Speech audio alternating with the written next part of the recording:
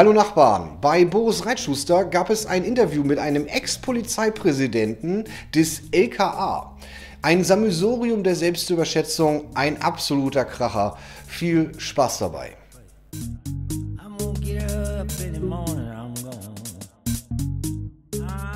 Über Jahre haben wir uns jetzt den Blödsinn von Quatschdenkern angehört, die behauptet haben, Millionen Menschen würden von der Erde verschwinden und an allen möglichen Sachen versterben. Nach Monaten können wir jetzt auch in der Realität sehen, absoluter Quatsch, alles nicht eingetreten. Spielt das für die Quatschdenker eine Rolle? Nein. Gelangweilte und frustrierte Rentner, die den ganzen Tag im Internet nach irgendwelchen möglichen wissenschaftlichen Erkenntnissen googeln, die gab es ja während der Pandemie schon immer. So nun auch Uwe Kranz, ein ehemaliger Polizeipräsident des LKA in Thüringen, der seinen Posten räumen musste, nachdem es einen Eklat im Rotlichtviertel gab. Vor rund zwei Wochen fiel er mir auf, als er bei YouTube ein Interview gegeben habe, da gehe ich aber später nochmal drauf ein. Vor wenigen Tagen tauchte er dann in einem Interview wieder auf, und zwar bei Boris Reitschuster. Da bin ich natürlich hoch interessiert, das habe ich mir dann mal angeschaut und da gehen wir jetzt mal näher drauf ein.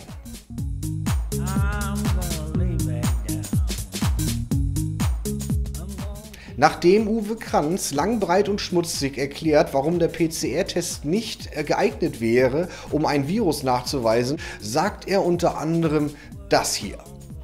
Wenn Sie wissen, wie die Tierexperimente gelaufen sind, die vorher mal gemacht worden sind, mit den acht Mäusen, dann äh, wissen Sie, dass es eigentlich unverantwortlich war, vollkommen unverantwortlich war, in die Pandemie hinein zu spritzen. So, so. Also das habe ich mir mal genauer angeschaut.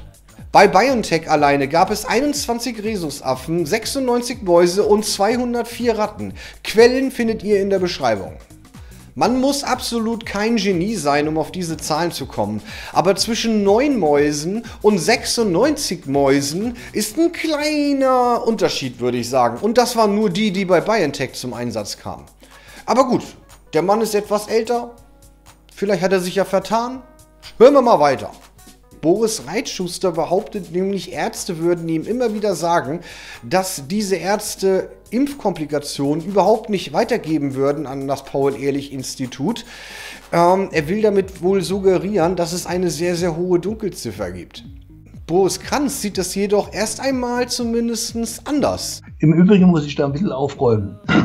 dieser, dieser Glaube, dass es unheimlich viel belastend ist für den armen Arzt, da so ein, so ein äh, Papier aus, so einen Vordruck auszufüllen. Das sagen die immer. Standardisiert ist. Er erklärt nämlich, dass das Ganze überhaupt nicht aufwendig sei. Er hätte es nämlich selber ausprobiert und darüber hinaus 25.000 Euro Strafe fällig werden würden für jeden nicht gemeldeten Fall äh, von Impfkomplikationen an das Paul-Ehrlich-Institut. Also ich habe mir die Mühe gemacht, ich habe mich selbst gemeldet. Ich habe oh. die Seite runtergeladen vom Bundesgesundheitsministerium und habe mich dann ausgefüllt mit einer fiktiven äh, Impfmasse, die, die, es gar nicht gibt, aber das merkt der Computer auch nicht. Da kannst du also alles reinschreiben, was du willst. und ich habe sieben Minuten gebraucht. Zwei Experten unter sich und nicht einmal der Journalist bekommt es hin, hier Klarheit reinzubringen. Ja, was ist es denn jetzt, Boris? A oder B? Als Journalist ist es doch deine Aufgabe, genau dafür Aufklärung zu sorgen. Du wirst ja als Journalist wohl in der Lage sein, hier eine ganz klare Aussage treffen zu können. Nach zwei Jahren muss man doch klar belegen können, ist es so oder ist es nicht so. Da brauche ich mich doch nicht auf das Hörensagen von Leuten zu berufen. Das sagen die immer. Ist es so, ist es nicht so? Hier ist eine Quellenangabe, 1, 2, 3, Problem erledigt. Nein, wir setzen wieder irgendein Blödsinn in die Welt. Besser ist das, oder? Die geballte Inkompetenz, Polizeipräsident und ehemaliger Journalist in einem Raum. Na, das kann ja heiter werden.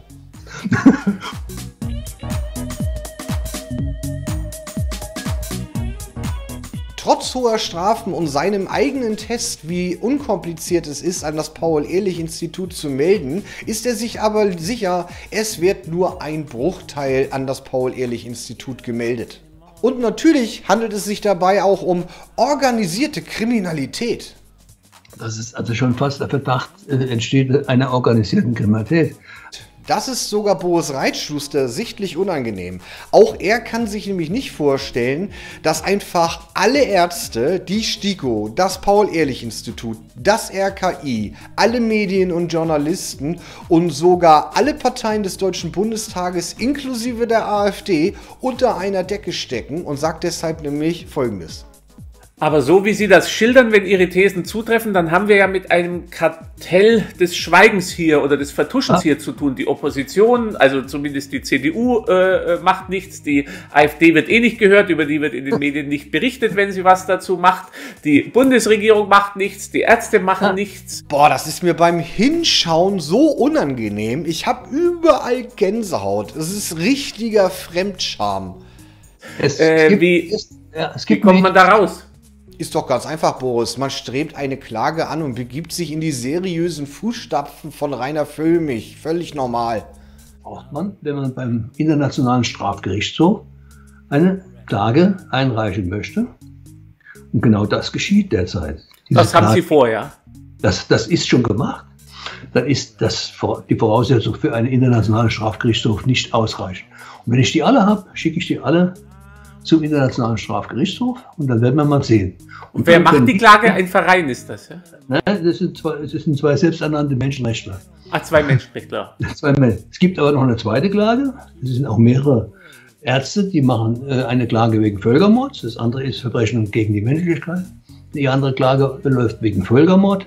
Da sind äh, mehrere Rechtswissenschaftler dabei.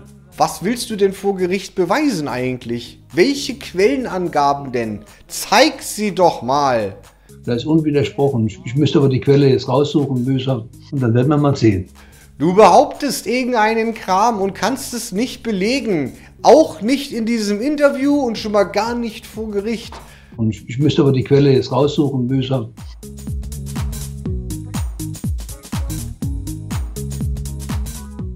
Wie ich bereits eingangs sagte, ist Uwe Kranz bereits vor etwa zwei Wochen ähm, auf einem YouTube-Kanal aufgetaucht und zwar bei einem Kanal für Investments. Mein Name ist Philipp Hopf, das ist ein weiteres Video der HKCM. Heute mit Uwe Kranz. Herzlich willkommen, Herr Kranz. Schönen guten Tag.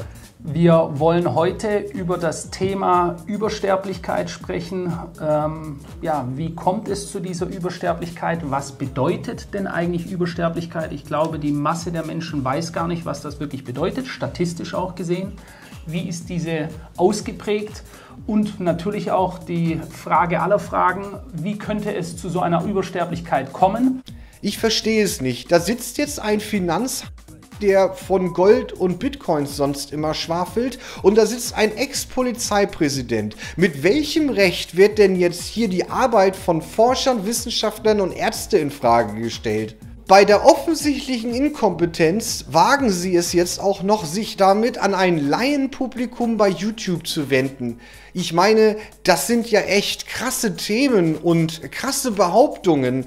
Das wäre ja schon irgendwie gut, wenn man das mit dem Fachpersonal bespricht oder nicht. Man wendet sich hier ganz bewusst ans Laienpublikum, weil Arne Burkhardt zum Beispiel hat das ja in seiner Pathologiekonferenz ja auch gemacht. Und Arne Burkhardt, Sucharit Bhakti und Uwe Kranz gehören übrigens ein und demselben Verein an. Wie kann man bloß so verbohrt sein? Ich meine, ein Ex-Polizeipräsident, manchmal, wenn die Fußball-WM läuft, da bin ich plötzlich voll der Experte und Fußballtrainer, ja. Äh, in meiner Vorstellung zumindest. Aber da geht es halt auch nur um Fußball. Hier geht es um krasse Themen. Hier wird aber Angst, Schrecken und Panik verbreitet. Völlig unwissenschaftlich und das ganz offensichtlich durch völlig inkompetente Menschen, die keinerlei medizinische Vorkenntnisse haben. Warum YouTube da nicht einschreitet, ist mir allerdings auch ein absolutes Rätsel, muss ich sagen. Aber zu diesem Interview gibt es wenigstens eine Quelle. Ich war sehr glücklich, habe draufgeklickt, dann öffnete sich eine PDF-Datei und dann war ich wieder ganz enttäuscht. Man muss absolut kein Experte sein, um auf den ersten Blick zu sehen, dass es sich dabei um eine völlig unseriöse Unterlage handelt. Mal werden dort Screenshots von YouTube als Beleg aufgeführt, manchmal ein Twitter-Tweet oder es stehen so Sachen drin wie zum Beispiel die EMA hat Unrecht in ihren Berechnungen, weil das ist unrealistisch. Ja gut, wenn es in der PDF steht, wird das wohl stimmen. Also ich nehme mal an, diese PDF-Datei ist Grundlage für das Verfahren, welches du anstrebst. Toi, toi, toi. Und dann kommt unser googeliger Rentner auch noch auf den Gedanken, hier Professor Hockertz ins Spiel zu bringen. Der soll nämlich bereits im September 2020 ausgerechnet haben, dass es zu mindestens 5% Impfschäden kommen würde. 5% wären 4 Millionen Menschen, 4 die von Millionen einer Menschen. Impfung geschädigt würden. Das sagt der Mann im September 2020 voraus. Ja, wie hatte denn das gemacht im September 2020? Da war der Impfstoff noch gar nicht zur Verfügung. Wie geht das denn? Und als Uwe Kranz dann auch noch behauptet, die Todesrate würde um 140-fache steigen, ja, dann äh, bekam auch der Interviewpartner etwas Schnappatmung. Er sagt, der Anstieg bei den Todesfällen liegt bei mehr als dem 140-fachen. Das 140-fache. 140-fache. Ne? Das, sind, das sind Zahlen, die sind abenteuerlich. Ob jetzt dieses Interview oder das bei Boris Reitschuster, es bleibt eine Witzveranstaltung. Vor allem einem Journalisten wie Boris Reitschuster es ja angeblich ist, was ich mal sehr stark anzweifle. Da müsste man allerdings ja schon immens erwarten können, dass er nach diesem ersten YouTube-Interview hier bereits die, bereits die Reißleine zieht und sich von diesem Menschen distanziert, weil er ganz offensichtlich einfach nur Blödsinn von sich gibt. Aber wir sind ja Journalist ohne Haltung und ohne Ideologie und deswegen machen wir es dann trotzdem.